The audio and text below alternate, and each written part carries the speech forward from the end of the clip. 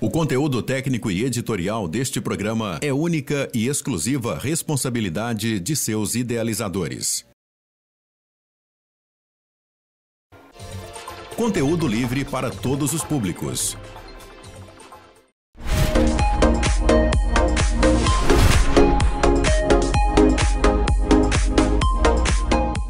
Olá pessoal, tudo bem com vocês? Já estou com o Dr. Augusto Legnani Neto, oftalmologista, cirurgião, professor também. E, e, hoje eu estou aqui com ele novamente para ele responder as perguntas dos telespectadores.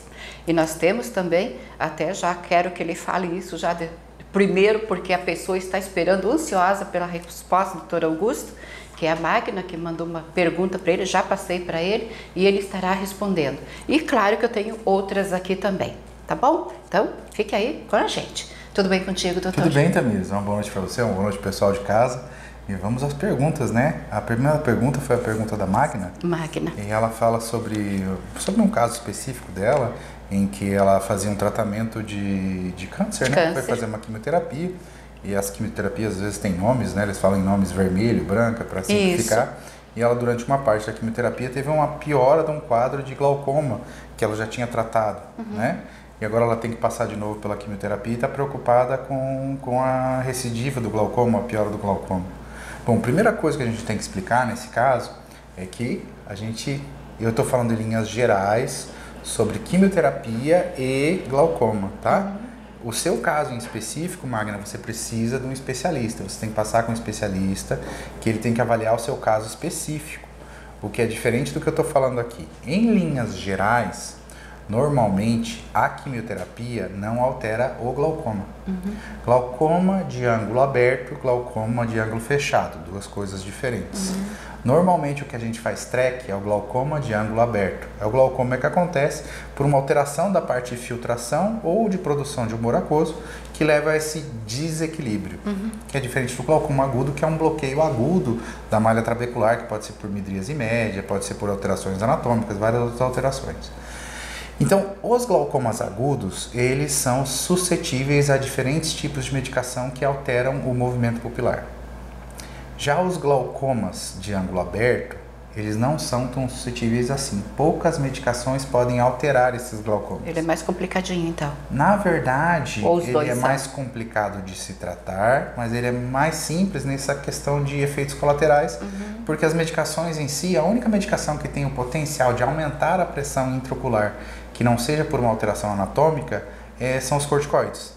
Ah. Então, muitas vezes acontece que durante a quimioterapia é usado o corticoide em dose alta para diminuir os sintomas deletérios da quimioterapia. Sim. E o corticoide é que causa o aumento da pressão e não o tratamento. Ah, entendi. Então, o tratamento em si normalmente não é a causa de aumento da pressão intraocular. Como eu estou falando, Magna, você vai precisar de um especialista para avaliar o seu caso, que é muito diferente do que eu estou falando aqui. Nós estamos falando em linhas gerais, pessoas que passam por quimioterapia, elas não vão ter alteração da pressão intraocular se for um glaucoma de ângulo aberto. Se for um glaucoma de ângulo fechado, tem algumas medicações que são simpatomiméticas, que podem mexer com a pupila, e parasimpatomiméticas, que podem causar o bloqueio pupilar. Uhum. Então, no caso da Magna, ela precisa de um especialista, mas muito provavelmente não foi a quimioterapia que causou alteração e provavelmente as medicações adjuvantes. Provavelmente entraram com corticoide junto e o corticoide sim pode alterar a pressão intraocular. Então, muito provavelmente você não terá problema em realizar a nova ciclo de quimioterapia, mas precisa do acompanhamento do especialista junto com você, Magna, alguém de confiança, alguém que possa te olhar durante o tratamento, depois do tratamento, para que você possa fazer o tratamento sem precisar interrompê-lo por uma, às vezes, uma acho que aumentou por isso. E daí acaba prejudicando você. Então é muito importante que esse tratamento seja feito em conjunto com um especialista junto com você para te acompanhar durante essa fase. E se Deus quiser, vai dar tudo certo, você Amém. vai passar pela quimioterapia Verdade. e vai melhorar desse problema, tá? É, porque ela já fez sessões de quimioterapia e agora esta semana ela começa mais uma sessão de químio. Eu acho que é muito provável que não seja a químio a causadora do, do aumento da pressão. Uma parte é bom, né? Uhum. Mas você precisa de um especialista junto, querida. Já arranja ele antes. E já vai te acompanhando desde já. Verdade. Então está aí, Magna. Que Jesus abençoe você, tá? Melhores. Doutor Augusto, eu fiz cirurgia de catarata há uns dias. Já posso pegar sol? É tão relativo. É, tão, só, é uma grande preocupação é uma de grande tudo. preocupação, mas assim, ó, para os meus pacientes não tem, eu não tenho é, problema com pegar sol. Uhum. Meu problema é com fazer força. A manobra de valsalva, quando a gente estufa o, uhum. a barriga, faz aquela força intraabdominal, aquela força pode fazer com que aumente a pressão intraocular e pode fazer com que haja vazamento da incisão e ali entrarem bactérias. Diz que geralmente nós vamos pegar alguma coisa, nós, uhum. fizemos, nós colocamos o peso no lado errado, Isso. na, numa parte do corpo que é errado, né? Então, isso pode acontecer fazendo força. Agora, o sol não é um problema, mas você tem que conversar com o seu especialista. Sempre. Só que operou você, porque às vezes ela tem uma preferência pessoal e essa preferência pessoal tem que ser respeitada. Exatamente. Se eu for na consulta com o oftalmologista, doutor Augusto, e ele falar, você já está com comecinho de catarata, já é bom operar? Não, você tem que operar quando estiver te incomodando. Eu digo que catarata é uma coisa que você tem que ver o, a, a necessidade ou a melhora. Por exemplo, às vezes eu vejo um paciente aqui, ele tem um comecinho de catarata, mas ele tem 5 graus de hipermetropia.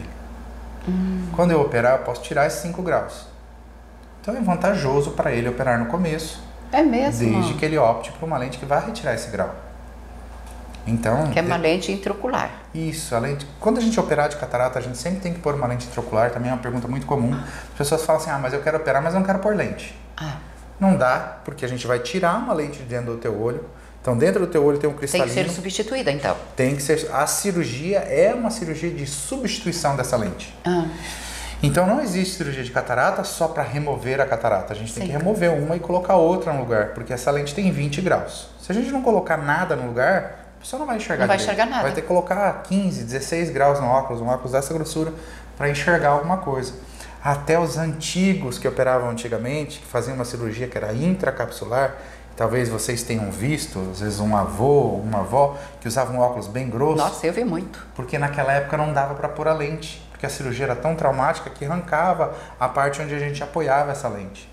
E daí eles usavam aquele oclão lá de 16 Sim, que você, graus. você olhando o olho era enorme, né? Nessa Através. época era importante a, cirurgia, a catarata estar tá madura.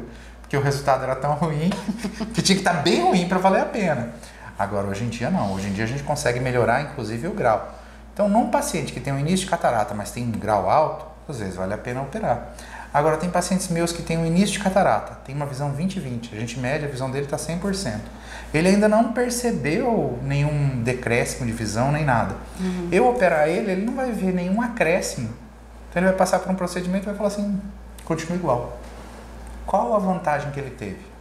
Nenhuma. Nenhuma. Qual a, pressa a gente faz para ficar bem, né? Exatamente. Então isso aí é uma cirurgia que ela serve para resolver um problema, mas ela tem que trazer algum conforto. Não vale a pena passar por essa cirurgia se não for para trazer um conforto extra.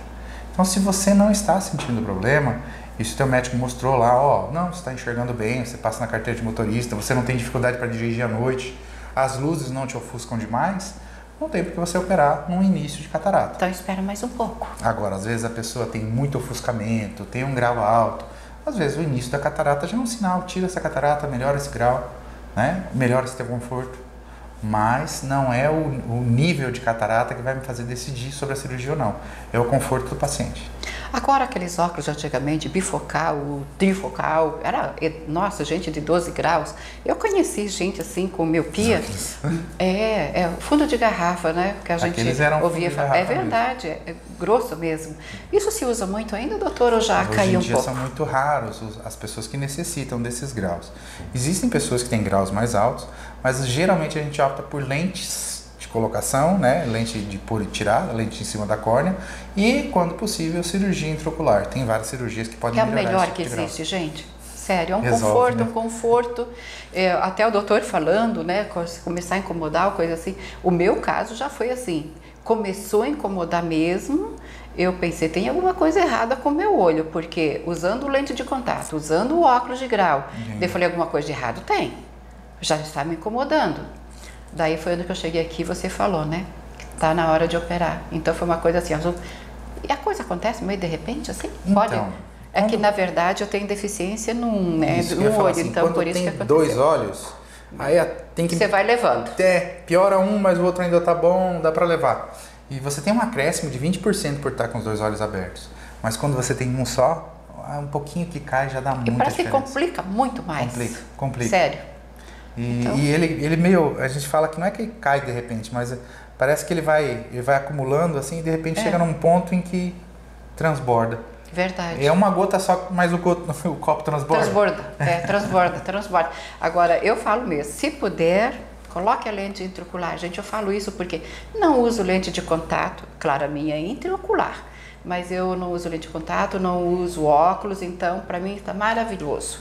Enxergo super bem e agradeço a Deus todos os dias, né?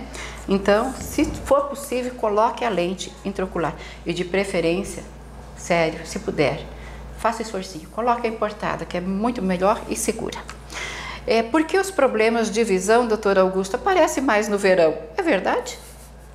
Não, não, não, não necessariamente. Eu acho que conjuntivite, Assim, é, essas coisas, né? Conjuntivite é mais comum mesmo, por causa da piscina e contato Flores. maior. É, e, e também As flores flo- que ele ama. Eu ando, as amarelinhas aqui de Marão, beleza para dar alergia. Mas não, não, não em relação a problemas como miopia, hipermetropia, presbiopia, catarata, esses problemas não variam. Eles, eles são durante todo o ano aparecendo, né? Mas no verão talvez a gente tenha um acréscimo das conjuntivites e, e pode ser a isso que o paciente está se referindo, que a pessoa está se referindo. É, porque nós, ah, no verão que a gente fala de certas situações, eu acho que foi isso que ela pegou. O que é ceratite? Ceratite, ó, nossa córnea, é, a nossa córnea, a gente chama de todas as doenças da córnea, é uma doença cerato, uma, uma, uma alteração da córnea. Então, ceratite é quando a gente tem a superfície da córnea meio ralada. Ah, É uma lesão da superfície da córnea. Essa ceratite, se for mais profunda, a gente chama de úlcera.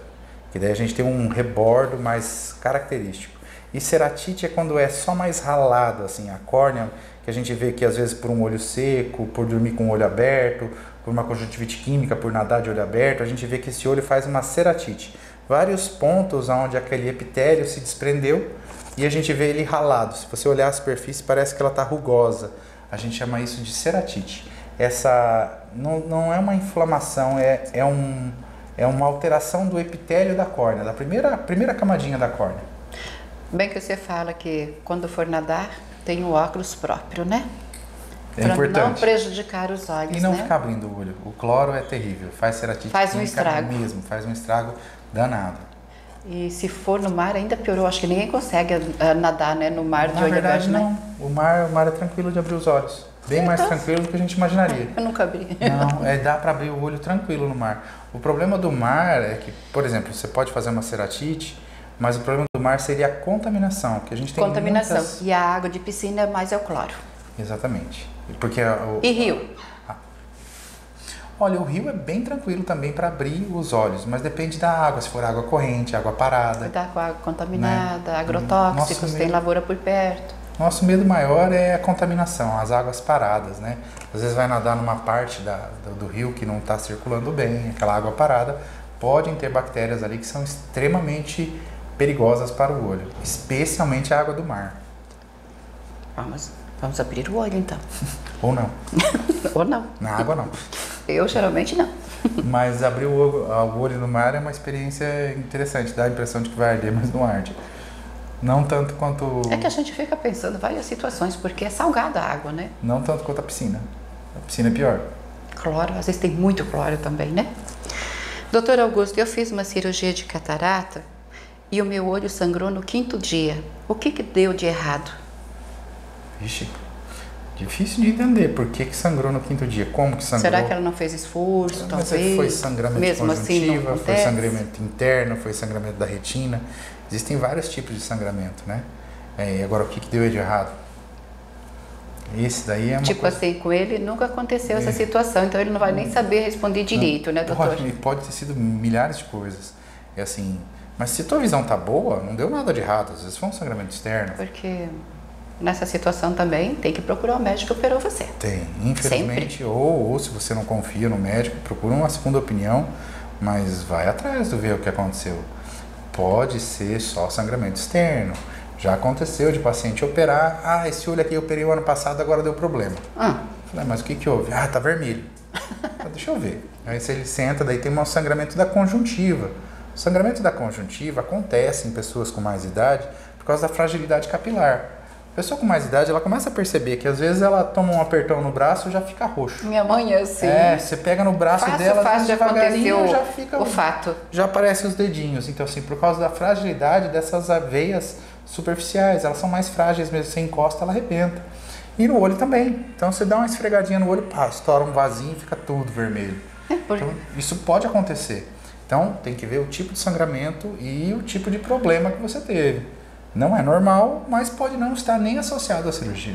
Porque no verão, geralmente, se você sai sem um óculos de sol, sol quente, ou coisa assim, um dia de muito pó, muita flor, né, como o doutor Augusto fala, e começa a dar muita coceirinha no olho, e você vai, coça, coça, coça, coça.